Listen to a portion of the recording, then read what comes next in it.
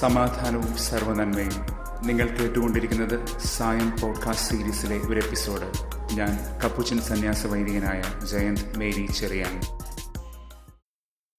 ഈ ദിവസങ്ങളിലെല്ലാം സ്നേഹത്താൽ ദൈവവും നമ്മളും പരസ്പരം സഹവസിക്കുമെന്ന് പഠിപ്പിക്കുമ്പോൾ നാഥൻ ഉപയോഗിക്കുന്ന ഒരു ക്രിയാപദമുണ്ട് മെനെയിൻ അബൈഡിംഗ് ഇൻഡ്വെല്ലിംഗ് സഹവാസം. ഇന്ന് പൗലോസും സഹചരരും മാസിഡോണിയയിലെ ഫിലിപ്പി പ്രദേശത്തുകൂടെ സഞ്ചരിക്കുകയാണ്. അവിടെ അവർ പ്രാർത്ഥിക്കാനുള്ള ഒരു സ്ഥലം അന്വേഷിച്ച് നടക്കുമ്പോൾ ഒരുപറ്റം സ്ത്രീകളെ കാണാനിടയാകുന്നു. അതിൽ തയാറ്റീറക്കാരിയായ ലിഡിയ എന്നൊരു വസ്ത്രവ്യാപാരിയായ സ്ത്രീയുമുണ്ട്. യൂറോപ്പിൽ നിന്ന് ആദ്യമായി വിശ്വാസം സ്വീകരിക്കുന്നവളായി ലിഡിയ ഇതാ മാറാൻ പോകുകയാണ്. അവൾ വിജാതീയയായിരുന്നു എന്നാൽ ദൈവഭയമുള്ളവളും. ദൈവം തന്റെ വചനങ്ങൾ കേൾക്കാൻ അവളുടെ ഹൃദയം തുറന്നുവെന്നാണ് ലൂക്ക അവളെക്കുറിച്ച് വിവരിക്കുന്നത്. അപ്പോസ്റ്റർ പ്രവർത്തനം പതിനാറ് പതിനൊന്ന് മുതൽ പതിനഞ്ച് വരെ. അവളും കുടുംബവും ജ്ഞാനസ്നാനം സ്വീകരിക്കുകയാണ്. തുടർന്ന് അവൾ സ്ത്രീഹന്മാരോട് പറയുന്ന ഒരു കാര്യം വളരെ ശ്രദ്ധേയമാണ്. ഞാൻ യഥാർത്ഥത്തിൽ കർത്താവിൽ വിശ്വസിക്കുന്നവളാണെന്ന് നിങ്ങൾ കരുതുന്നെങ്കിൽ എന്റെ വീട്ടിൽ ഒയ്ക്കോസ് നിങ്ങൾ താമസിക്കണം മെനേയൻ. ഇന്നലെ നാം കണ്ടിരുന്നു ദൈവിക ഉടമ്പടി ബറീത്ത് എന്ന ദൈവവചനം മാംസം ധരിച്ച് നമ്മുടെ ഇടയിൽ പാർത്തു പാർപ്പിടമുറപ്പിച്ചു എന്ന് ബയീത്ത്. ബയീത്ത് എന്ന ഹീബ്രു പദത്തിന്റെ ഗ്രീക്ക് ഭാഷ്യമാണ് ഒയ്ക്കോസ്. അത് വീട് എന്ന് മാത്രമല്ല അർത്ഥം. ഒരു ക്രമത്തെ കൂടി സൂചിപ്പിക്കുന്ന പദമാണ്. വിശാലമായ അർത്ഥത്തിൽ ദൈവം സൃഷ്ടിച്ചുറപ്പിച്ച ലോകക്രമം. ദൈവവും മനുഷ്യനും സൃഷ്ടിയും തമ്മിലുള്ള സ്നേഹസമന്വയം. ദൈവം നമ്മുടെ ഇടയിൽ വസിക്കുന്നു എന്ന സ്നേഹകാരുണ്യത്തിന് അനുഭവം തന്നെയായി മാറുകയാണ്.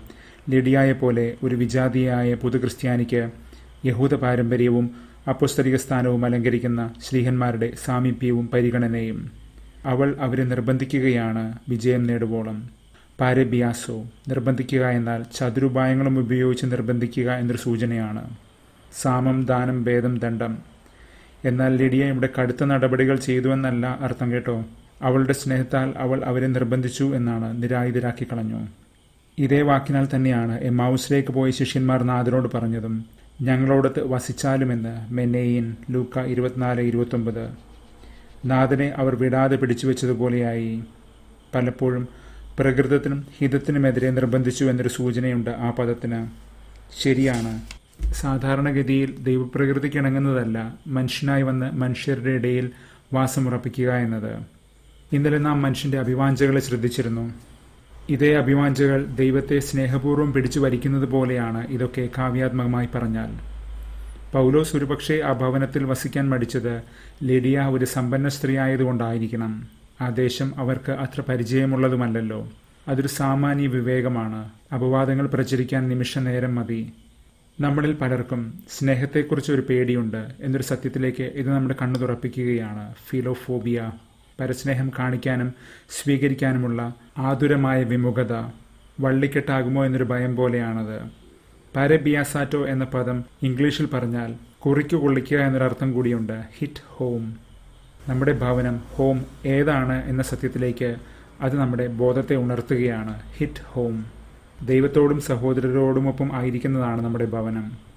ഇന്നലെ നാം ചരിത്രം എന്ന നമ്മുടെ വിശുദ്ധ സഹചാരിയെ ശ്രദ്ധിച്ചിരുന്നു സീക്രട്ട് കമ്പാനിയൻ ഇന്ന് സങ്കീർത്തനം നൂറ്റി നാൽപ്പത്തൊമ്പത് വളരെ ചരിത്രാവബോധം പുലർത്തുന്ന ഒന്നാണ് ഹിസ്റ്റോറിക്കൽ റിയലിസം സിയോനെ പ്രതിയുള്ള അതിതീക്ഷ്ണത അതിൽ വിടരുന്നത് നമുക്ക് കാണാം. അതിനാൽ തന്നെ സിയോൻ അഥവാ ജെറുസലേമിന്റെ ശത്രുക്കളെക്കുറിച്ചുള്ള ഗാഠമായ അവബോധവും അതിൽ പ്രകടമാകുന്നുണ്ട്. എങ്ങനെ?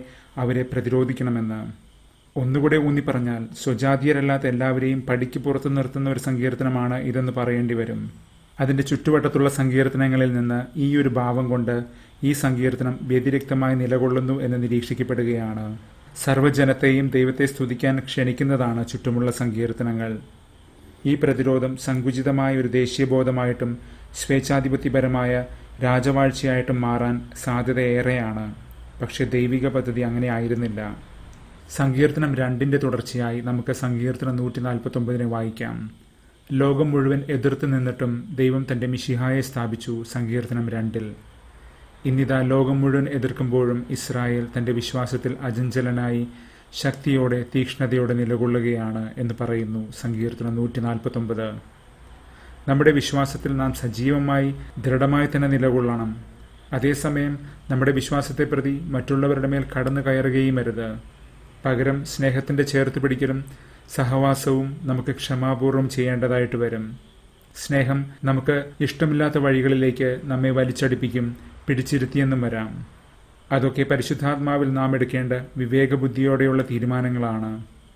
സങ്കീർത്തനം നൂറ്റി നാൽപ്പത്തൊമ്പത് സങ്കുചിതമായി ചിന്തിക്കാനല്ല നമ്മെ പഠിപ്പിക്കുന്നത്. ദൈവിക ഉടമ്പടി എത്ര തീക്ഷ്ണമായി വിശ്വാസത്തിൽ പാലിക്കണമെന്നാണ്.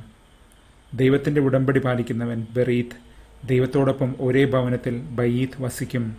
അവന് ദൈവഛായ തന്നെയായിരിക്കും. ഇന്ന് സുവിശേഷത്തിൽ നാം സ്നേഹത്തെ പ്രതി വിശ്വാസത്തെ പ്രതി ഏൽക്കേണ്ടി വരുന്ന പീഡകളെ നാഥൻ ഓർമ്മിപ്പിക്കുന്നത് ദൈവവും നമ്മളും തമ്മിലുള്ള പാരസ്പര്യത്തിന്റെ അളവുകോലിലാണ്. ഇതെല്ലാം അവൻ നമുക്ക് മുൻപേ പറഞ്ഞു തരുന്നത് നമ്മുടെ വിശ്വാസം ബലപ്പെട്ടു നിൽക്കാൻ വേണ്ടി തന്നെയാണ്. ക്ഷതങ്ങളും പോറലും ഏൽക്കുമ്പോഴാണ് വിശ്വാസത്തിന് ശക്തി കൂടുന്നത്. സങ്കീർത്തനം നൂറ്റി നാൽപ്പത്തൊമ്പത് ദൈവം തരുന്ന വിജയത്തെ പ്രകീർത്തിക്കുകയായിരുന്നു. രക്ഷയാണ് യഥാർത്ഥത്തിൽ ആ വിജയം. പരിശുദ്ധാത്മാവ് നമുക്ക് എല്ലാ കാര്യങ്ങളും പഠിപ്പിച്ചു തരും. രക്ഷയുടെ വഴിയിൽ നടക്കാൻ നമ്മെ സഹായിക്കുകയും ചെയ്യും. പരിശുദ്ധാത്മാവ് സാക്ഷ്യം നൽകുന്നുണ്ട് ദൈവത്തെക്കുറിച്ച്. അതേസമയം നാഥൻ പറയുന്നു നമ്മളും അതേ സാക്ഷ്യം നൽകണമെന്ന്. നമ്മൾ പരിശുദ്ധാത്മാവിന്റെ സഹകാരികളാണെന്ന് ഓർമ്മിപ്പിക്കുകയാണ് ഇവിടെ. നമ്മുടെ സാക്ഷ്യങ്ങൾ നാം പരിശുദ്ധാത്മാവിന്റെ സാക്ഷ്യത്തോട് ചേർത്ത് വയ്ക്കണം. സാക്ഷ്യം മർത്തീരിയ എന്നത് നീടഗന്ധം പേർന്നൊരു വാക്കുകൂടിയാണ് സമകാലിക ഉപയോഗത്തിൽ രക്തസാക്ഷിത്വം. സ്നേഹത്താൽ ആയിരം പ്രാവശ്യം അപരനു വേണ്ടി മരിച്ചവർക്ക് പിന്നെ എന്ത്? മരണഭയം.